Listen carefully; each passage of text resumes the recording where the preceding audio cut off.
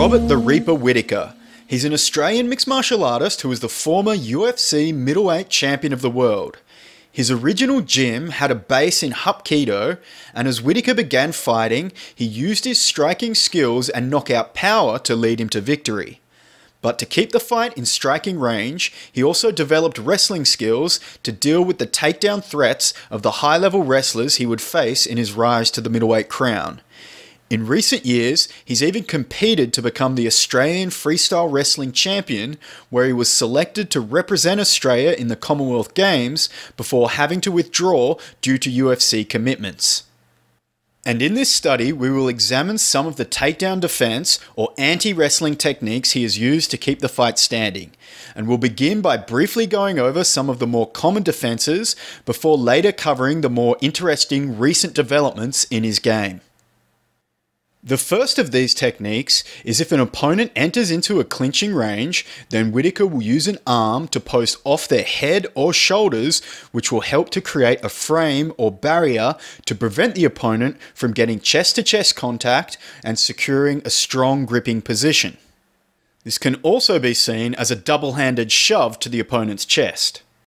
And next up is the sprawl for when his opponents take a shot at his hips. Whittaker will drop his legs and hips backwards, and also of note is his use of strong down blocking with his hands, which shoot directly towards the mat to prevent his opponents from establishing their grips, and also helping with Whittaker securing his own underhooks. If the opponents do manage to get in on a single leg, then Whittaker will look to escape by limp legging. This is where he posts on the opponent's head and turns away from them while lifting his leg up and out of their grip. This is a move that works exceptionally well in MMA, where there are no wrestling boots to hold onto and provide extra grip. Now we'll move on to wall walking, or in this case, more generally, how Whittaker will help use the fence to stand back up. If taken down, he can scramble towards the fence and use an overhook to first help lift a knee off the mat before he can then begin to stand on his other leg. All the while, the fence provides a barrier to prevent his opponents from completing the takedown. He will then look to escape from the clinch against the fence, which we'll now look at in this next section.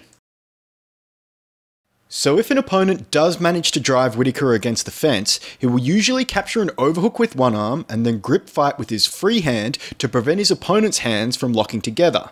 He then uses that free hand to help assist in the escape.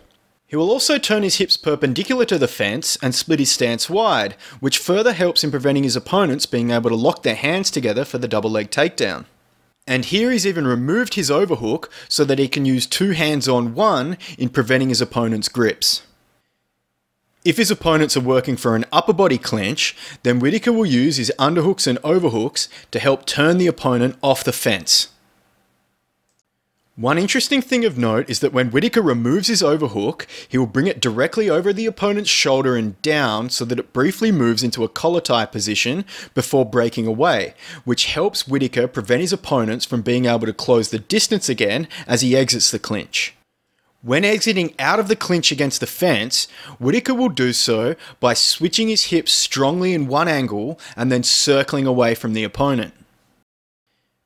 If Whittaker has an overhook, then he'll tend to circle out on his underhook side, but he'll even perform this technique with double underhooks, and in which case he still prefers to circle out to his right hand side when he exits the clinch. After switching his hips, circling out of the clinch, and then away from the fence, he can resume his striking attack in the center of the cage. And perhaps the most interesting part of Whittaker's game is his use of the turtle position, where he will give up back exposure to his opponent so that he can build his base and work back towards his feet, where he can begin to fight his opponent's grips. He will even move towards the fence first before giving up his back to stand up in a position that Estonian grappler Priit Mihkelson has dubbed the active turtle. If his opponents do manage to capture the rear clinch on him, one of his main tactics is to pummel with his elbows by digging it in between their arms so that he can then turn to face his opponent. He will use his elbows to help regain control of the inside space around his body when he's in the middle of the cage, or also when he's against the fence after having stood up from active turtle. And here we'll see Robert Whittaker chain some wrestling defense together. First looking to sit out, before attempting to hit a wrestler's switch, and then deciding to walk towards the fence before sitting down into active turtle position. Active turtle can be characterized as having one knee flat on the mat with the same side's hand posted straight up and the other legs begun to stand up and that side's arm has its elbow attached to the hip. The elbow position helps seal off access to his body, and he can use it to pummel in for an underhook of his own to regain control of the inside space, which he can then use to exit out of the clinch. Giving up this back exposure in turtle and active turtle is inherently risky for rear naked chokes, but we can see here against Jacare, Whittaker was able to remove his hook and stand up before shaking him off his back. We can see how he did it here by kicking his right leg back and bringing it up to meet his elbow to continue sealing off his body. Whittaker will always look to stand up against the fence with the outside leg first. This leaves the inside leg with its knee on the mat. This allows Whittaker to use his elbow to seal off and prevent the hook being inserted on the near side, and then the fence acts as a barrier to prevent the hook being inserted on the far side. Then once standing, it's a matter of breaking the grips of the opponent so he can pummel to the inside and then exit out of that clinch position to resume his striking contest. Here's one more example of Whittaker using his elbow to pummel to the inside, which Romero tries to stop with 2 on 1 inside wrist control.